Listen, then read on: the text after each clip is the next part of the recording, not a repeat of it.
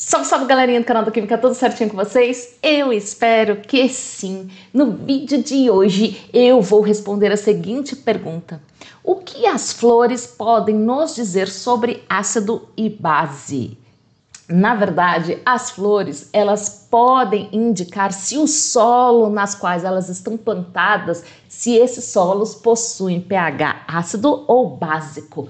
É sério isso, professora? É sério. Veja só, um grande exemplo disso são as hortênsias. As hortênsias, elas possuem coloração azul se elas estiverem plantadas em solo com pH ácido. Em compensação, se essas hortênsias estiverem plantadas em um solo com pH básico, ou seja, normalmente chamado de solo alcalino, elas possuem uma coloração vermelha. É isso aí. Mas você pode estar se perguntando, professora, mas o que é o pH? Na verdade, o pH é definido como potencial hidrogeniônico e é uma escala logarítmica que vai de 0 a 14 e indica se a solução está em um pH ácido, básico ou neutro.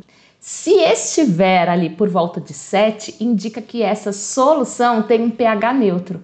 Se ela estiver acima, se estiver ali, por exemplo, com pH 10, significa que eu tenho uma solução básica. Se nessa escala a solução se apresentar ali por volta de 3, 4, significa que essa solução tem um pH ácido. Aliás, eu tenho um vídeo aqui no nosso canal em que eu ensino a calcular o pH. Então, se você quiser saber como calcular o pH, assista a esse vídeo. Belezinha?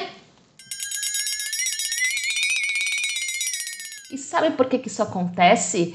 Essas flores, assim como outras plantas, como por exemplo o repolho roxo, a beterraba, essas plantas, elas possuem algo chamados de indicadores. Meu Deus, o que são indicadores, professora? Os indicadores ácido-base são substâncias naturais ou sintéticas que possuem a capacidade de mudar de cor de acordo com o pH do meio.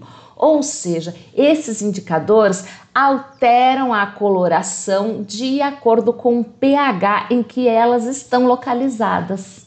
É claro que nesse caso estamos falando de indicadores naturais. Por quê? Porque estão presentes nas flores, nos legumes. Por exemplo, plantas vermelhas, roxas ou azuis muitas vezes contém uma classe de elementos chamadas antocianinas. O que são essas antocianinas? Estou mostrando a estruturinha para vocês aí. E essas antocianinas, elas mudam de coloração de acordo com o nível de acidez.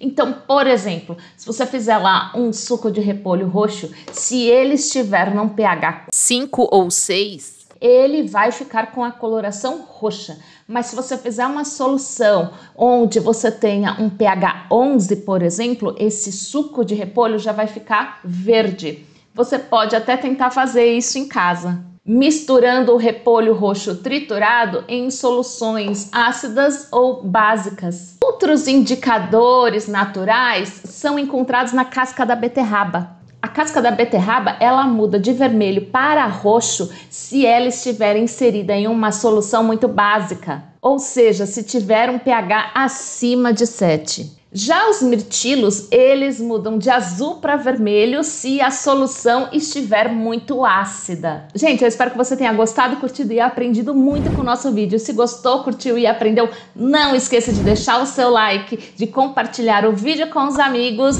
e não deixe de se inscrever e ativar o sininho da notificação para ficar sabendo dos próximos. Combinado? Até o nosso próximo vídeo.